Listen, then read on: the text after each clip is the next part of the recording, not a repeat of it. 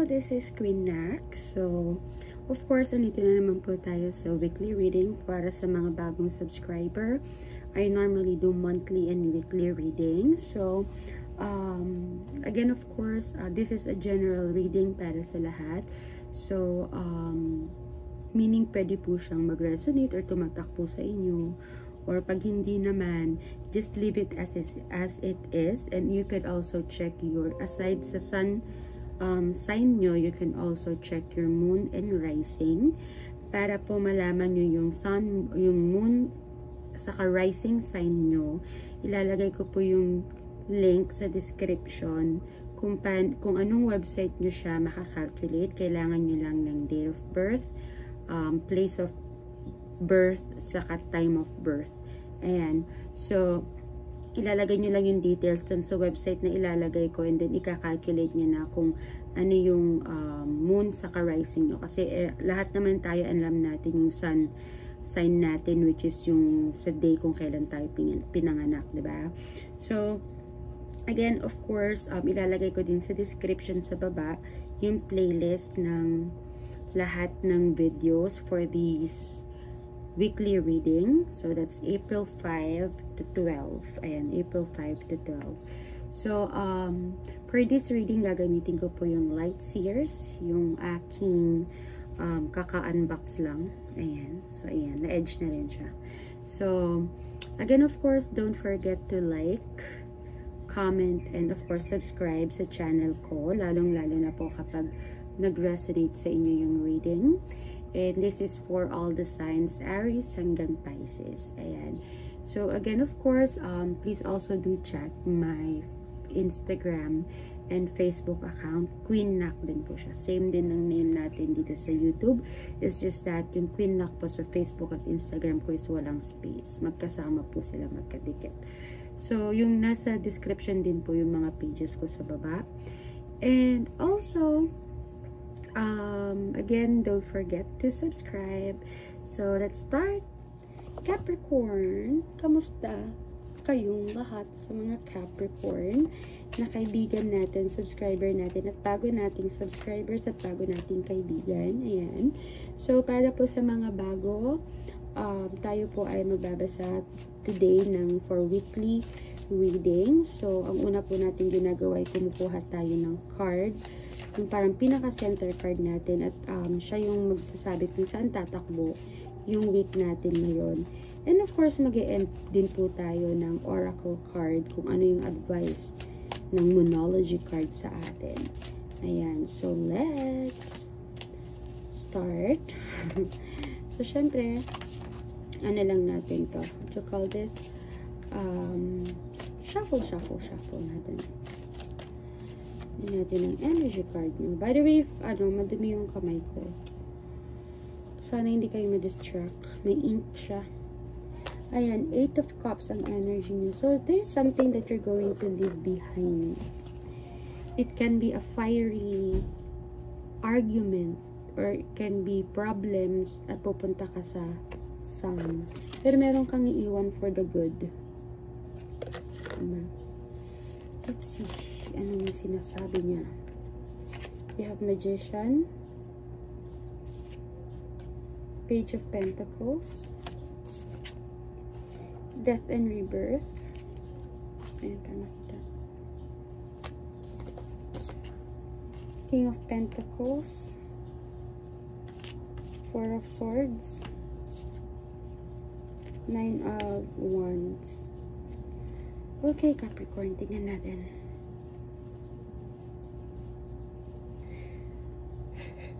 Si Capricorn kasi, Capricorns are actually hard worker. Kapag ka nilagay nyo yung mind nyo sa isang bagay, sa success, kayang-kaya nyo siyang gawin kasi nakafocus at nakafocus kayo doon. It's just that, meron lang kayong something na iiwan na it's not doing any good na it's not helping you heal. It's not helping you sa kung ano man yung gusto mong gawin. Kasi may gusto kang bagong, bagong gawin. may gusto kang bagong matutunan. You wanna learn something new. While balancing everything. Kasi mukha siyang nagbabalance.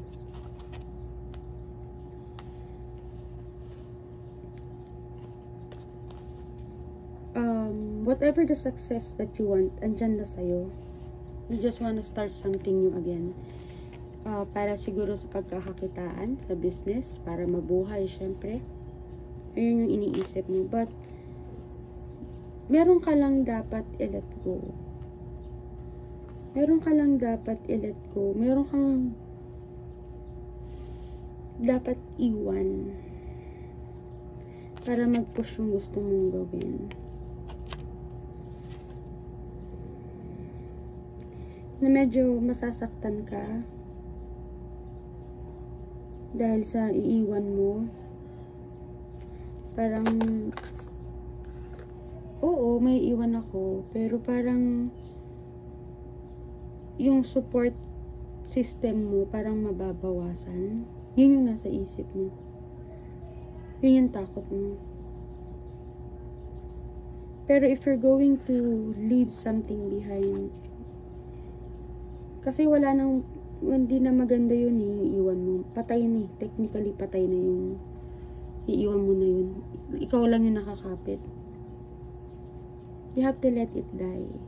Kasi if you're not going to let it die, walang mangyayari. If you let it die, if you leave it, then there's a chance of having a rebirth. There's a chance of, there's a change, di ba? May change na mangyayari once you leave it may magandang mangyayari once you leave it. There, there is sunshine after the rain. There is a rainbow after the rain. Sabi nga nila. Na all you need to do is to let go. Para dumating yung uh, change. Para magbago.